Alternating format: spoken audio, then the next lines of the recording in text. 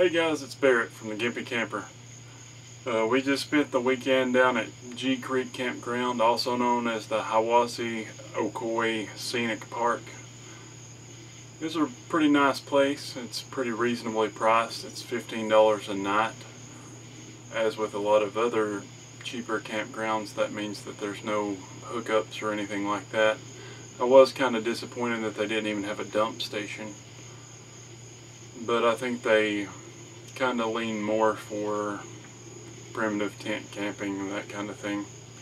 You have to be careful on their website, I want to say that before I forget, because you know it has like parking dimensions and it says that basically the site that I stayed at I think was 65 feet by 13 feet as far as parking and they advertise it as a pull-through site but most of those sites are really sharp. I got a little bit of video of that coming up, okay?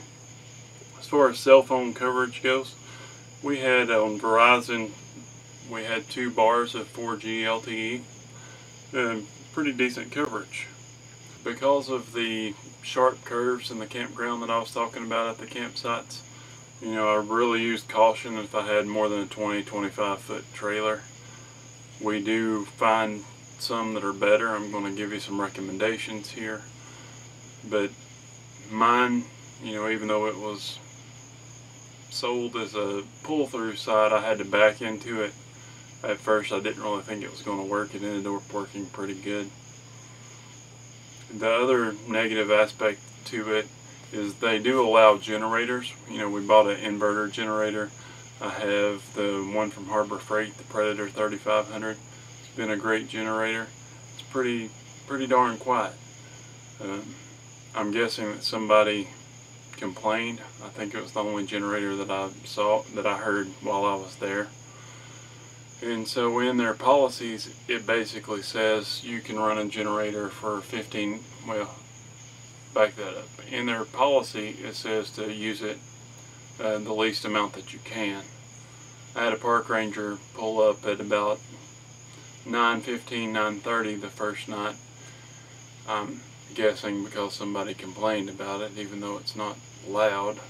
And he said that, uh, you know, their policy is they ask people to only use a generator for 15 minutes every two hours. And guys, as far as air conditioning goes in this Tennessee heat, that don't get you too far. And nothing after 10 o'clock, which I understand. But that's why I probably won't be going back there in the summertime to RV camp at least. So let's see what else we had to say. You know, as far as the spots go, the best spots are the handicap spots. They're the only ones that are straight. They're not pull-through sites. You have to back into them. Um, but if you're ineligible for those, most of the other better sites um, that you can fit a longer camper in are at the end of the circles. And so if you look at the map, you know, a lot of the sites that I'm going to give you, they're kind of on those corners of the circles because, you know, you have a straight line that goes through and just kind of cuts that circle off at the, the edge there.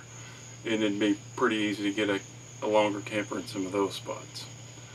But some of the better sites that I saw were A34, B6, B4, A13, B5, B11, and A9. You know, if you're just going to tent camp or hammock camp, all the other sites are great for that.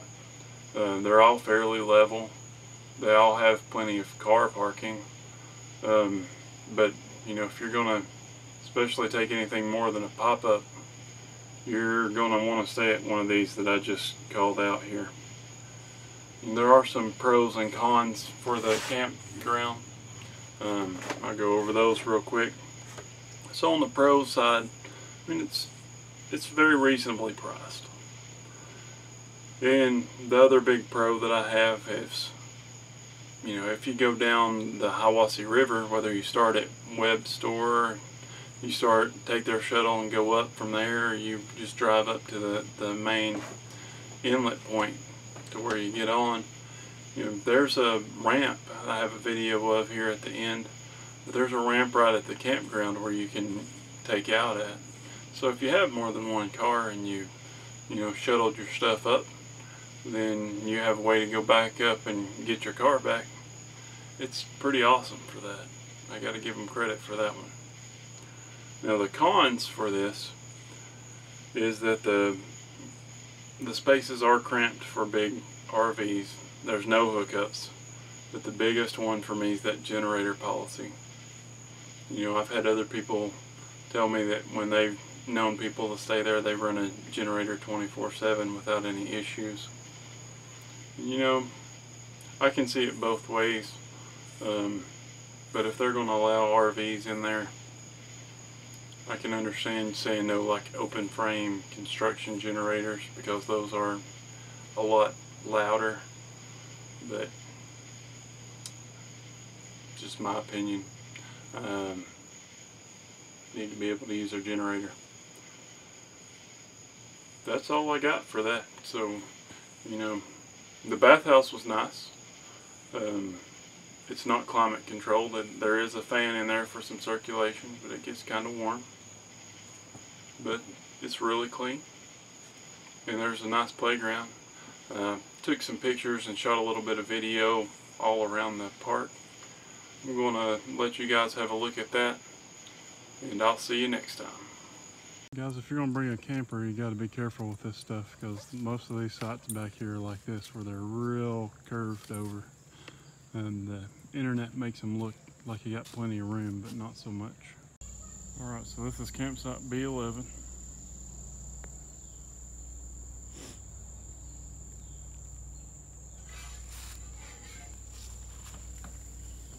Predator generator, we'll have a review on that shortly.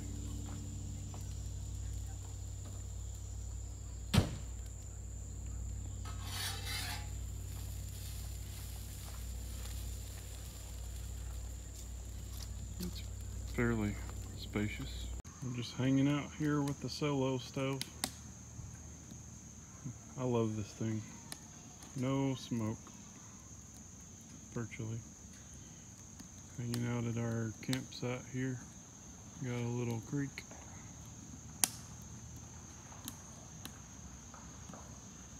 Hmm. I'll show you some more tomorrow. Just gonna hang out with the fire tonight. Cook some fajitas on the new griddle we got. We got some fajitas going here on our new Blackstone griddle. We'll view that whenever we get a little more knowledge about it.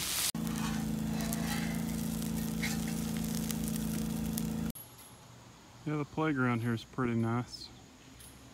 It's right next to the handicap spots, which are the only straight spots in the whole campground. The others are marketed, marketed as pull-through sites, but it's real uh, subjective on what you can pull through them for most of them.